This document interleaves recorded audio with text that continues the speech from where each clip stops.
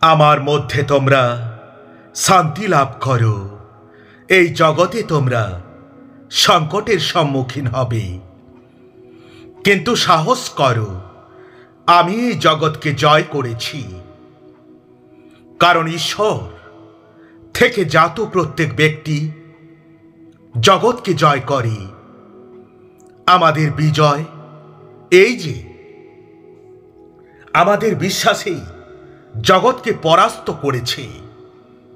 কে জগৎকে জয় করে, একমাত্র সেই যে বিশ্বাস করে যে যিশু এই ঈশ্বরের পুত্র। তখন তোমরা সত্যকে জানবে, আর সেই সত্য তোমাদের মুক্ত করবে। বৎস আমার, খ্রিস্ট যিশুতে স্থিত, অনুগ্রহে তুমি শক্তিশালী হও। যিনি আমাকে শক্তি দান করেন, তার মধ্যে আমি সব কিছুই করতে পারি। তোমরা এত ভয় পেলে কেন? তোমাদের কি এখনও কোনো বিশ্বাস নেই? তিনি ভগ্নচিত্তদের সুস্থ করেন এবং তাদের সকল ক্ষতস্থান তিনি বেঁধে দেন। কেউ যদি খ্রিস্টে থাকে সে এক নতুন সৃষ্টি হল। পুরাতন বিষয় সব অতীত হয়েছে, দেখো, সব নতুন হয়ে উঠেছে। তোমাদের হৃদয়ে যেন উদ্বিগ্ন না হয়। ঈশ্বরকে বিশ্বাস করো, আমাকেও বিশ্বাস করো। আমার পিতার গৃহে বহু কক্ষ আছে।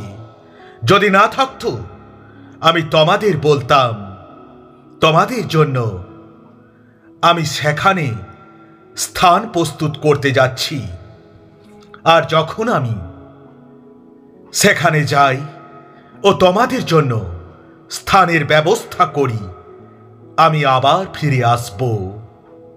এবং আমি যেখানে থাকি, সেখানে আমার সঙ্গে থাকার জন্য তোমাদের নিয়ে যাব। আমি যেখানে যাচ্ছি, সেখানে যাওয়ার পথ। তোমরা জানো, তোমরা বলবান হও ও সাহস করো। তাদের তোমরা ভয় পেও না, কিংবা আতঙ্কগ্রস্ত হইও না। কারণ তোমাদের ঈশ্বর সদাপ্রভু তোমাদের সঙ্গে যাবেন, তিনি কখনো তোমাদের ছেড়ে যাবেন না। বা তোমাদের ত্যাগ করবেন না। তুমি আমাকে আহ্বান করো। আমি তোমাকে উত্তর দেব।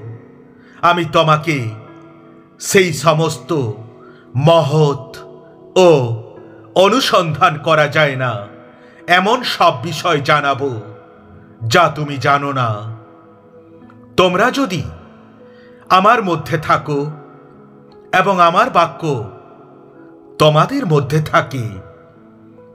তোমরা যা কিছু প্রার্থনা করো, তা তোমাদের দেওয়া হবে। কোনো বিষয়ে উৎকণ্ঠিত হইও না, কিন্তু সব বিষয়ে প্রার্থনা ও মিনতি দ্বারা ধন্যবাদের সঙ্গে ঈশ্বরের কাছে তোমাদের সব অনুরোধ জানাও। কালকের বিষয়ে দুশ্চিন্তা করো না। কারণ কাল স্বয়ং নিজের বিষয়ে দুশ্চিন্তা করবে। প্রত্যেকটি দিনের কষ্ট প্রতিটি দিনের জন্য যথেষ্ট। তুমি কি জানো না? তুমি কি কখনো শোনি সদাপ্রভু এই সনাতন ঈশ্বর, তিনি পৃথিবীর প্রান্তসীমার সৃষ্টিকর্তা। তিনি শ্রান্ত হবেন না, ক্লান্ত হবেন না, তার বুদ্ধির গভীরতা কেউ পরিমাপ করতে পারে না। তিনি ক্লান্ত ব্যক্তিকে শক্তি দেন, দুর্বলের শক্তি বৃদ্ধি করেন। এমনকি যুবকেরাও শ্রান্ত ও ক্লান্ত হয়, তরুণেরা হচট খেয়ে পতিত হয়। কিন্তু যারা সদাপ্রভুতে প্রত্যাশা রাখে। তারা তাদের শক্তি নবায়িত করবে। তারা ঈগল পাখির মতোই ডানা মেলবে। তারা দৌড়াবে, কিন্তু ক্লান্ত হবে না। তারা চলাফেরা করবে, কিন্তু মূর্ছিত হবে না। চোর আসে, কেবল চুরি, হত্যা ও ধ্বংস করতে। কিন্তু আমি এসেছি যেন তারা জীবন পায় এবং তা পূর্ণরূপেই পায়। তোমরা প্রার্থনায় যা কিছু চাইবে, বিশ্বাস করলে সেই সমস্তই পাবে। তাই ভয় করো না, কারণ আমি তোমার সঙ্গে আছি। হতাশ হইও না, কারণ আমি তোমার ঈশ্বর। আমি তোমাকে শক্তি দেব ও তোমাকে সাহায্য করব। আমার ধর্মময় ডান হাত দিয়ে আমি তোমাকে ধরে রাখব। দুধের শিশুকে কোনো মা কি ভুলতে পারি?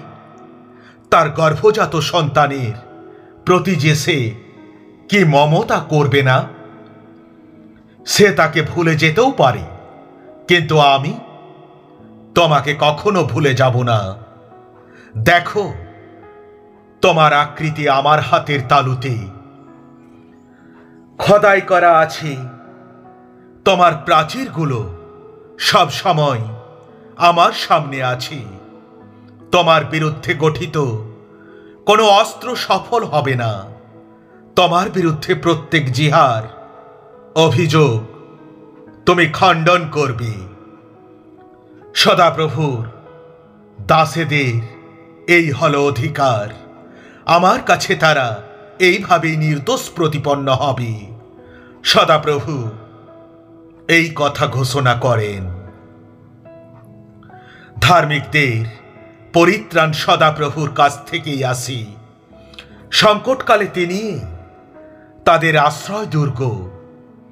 সদাপ্রভু তাদের সাহায্য করেন ও তাদের উদ্ধার করেন। তিনি তাদের দুষ্টদের কবল থেকে উদ্ধার করেন। ও মুক্ত করেন কারণ তারা যে তারই শরণাগত। সংকটের দিনে আমাকে ডাকো, আমি তোমাকে উদ্ধার করব।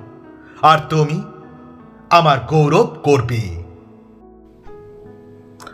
তোমাদের কারও যদি প্রজ্ঞার অভাব থাকে, সে ঈশ্বরের কাছে তা চাইবি। যিনি কোনো ত্রুটি না ধরে উদারভাবে সকলকে দান করে থাকেন। আর তাকে তা দেওয়া হবে। কিন্তু চাওয়ার সময় তাকে বিশ্বাস করতে হবে। সে যেন সন্দেহ না করে। কারণ যে সন্দেহ করে, সে সমুদ্রের ঢেউর মতো, বাতাসে তাড়িত ও উৎক্ষিপ্ত, সেই মানুষ এমন মনে না করুক যে সে প্রভুর কাছ থেকে কিছু পাবে। God bless you